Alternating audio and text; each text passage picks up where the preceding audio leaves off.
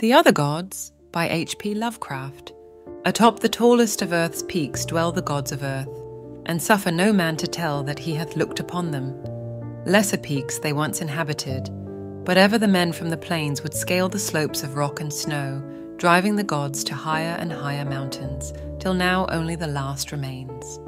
When they left their older peaks, they took with them all signs of themselves, save once, it is said, when they left a carven image on the face of the mountain, which they called Ngranek.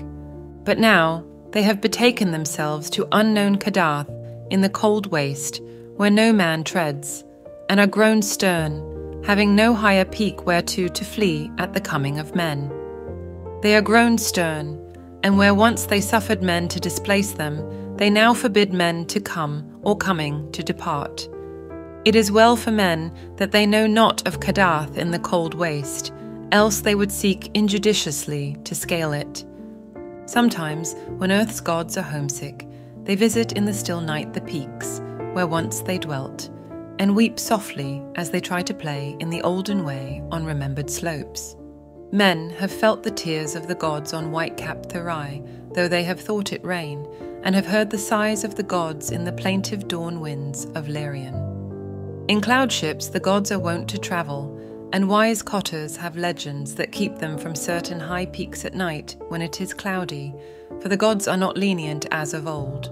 In Ulthar, which lies beyond the river Skai, once dwelt an old man avid to behold the gods of earth. A man deeply learned in the seven cryptical books of Hsan and familiar with the pnakotic manuscripts of distant and frozen Lomar. His name was Barzai the Wise, and the villagers tell of how he went up a mountain on the night of the strange eclipse. Barzai knew so much of the gods that he could tell of their comings and goings, and guess so many of their secrets that he was deemed half a god himself. It was he who wisely advised the burgesses of Ulthar when they passed their remarkable law against the slaying of cats, and who first told the young priest Atal where it is that black cats go at midnight on St. John's Eve. Barzai was learned in the lore of Earth's gods and had gained a desire to look upon their faces. He believed that his great secret knowledge of gods could shield him from their wrath, so resolved to go up to the summit of high and rocky Hatheg Kla on a night when he knew the gods would be there. Hatheg Kla is far in the stony desert beyond Hatheg, for which it is named, and rises like a rock statue in a silent temple. Around its peak, the mists play always mournfully, for mists are the memories of the gods, and the gods loved Hatheg Kla when they dwelt upon it in the old days. Often, the gods of earth visit Hatheg Kla in their ships of cloud, casting pale vapours over the slopes as they dance reminiscently on the summit under a clear moon. The villagers of Hatheg say it is ill to climb Hatheg at any time, and deadly to climb it by night when pale vapours hide the summit and the moon. But Barzai heeded them not when he came from neighbouring Ulthar with the young priest Atal, who was his disciple. Atal was only the son of an innkeeper, and was sometimes afraid. But Barzai's father had been a landgrave who dwelt in an ancient castle so he had no common superstition in his blood and only laughed at the fearful cotters. Barzai and Atal went out of Hatheg into the stony desert despite the prayers of peasants and talked of earth's gods by their campfires at night. Many days they travelled, and from afar saw lofty Hatheg Kla with his aureole of mournful mist. On the thirteenth day, they reached the mountain's lonely base, and Atal spoke of his fears. But Barzai was old and learned, and had no fears, so led the way boldly up the slope that no man had scaled since the time of Sansu, who is written of with fright in the mouldy Pnakotic manuscripts. The way was rocky and made perilous by chasms, cliffs, and falling stones. Later, it grew cold and snowy, and Barzai and Atal often slipped and fell as they hewed and plodded upward with staves and axes. Finally, the air grew thin, and the sky changed colour, and the climbers found it hard to breathe. But still, they toiled up and up, marvelling at the strangeness of the scene and thrilling at the thought of what would happen on the summit when the moon was out and the pale vapours spread around.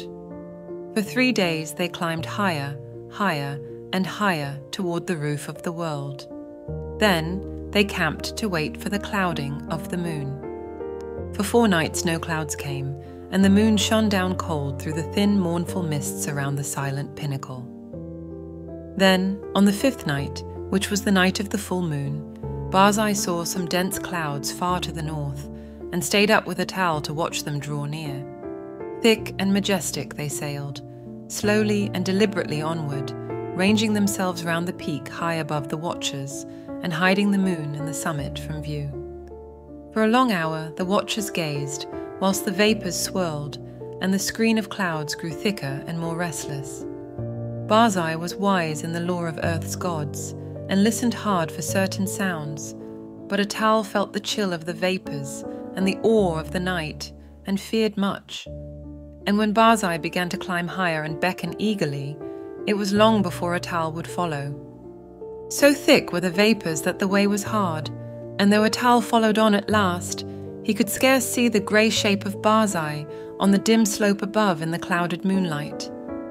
Barzai forged very far ahead, and seemed, despite his age, to climb more easily than Atal, fearing not the steepness that began to grow too great for any save a strong and dauntless man, nor pausing at wide black chasms that Atal scarce could leap.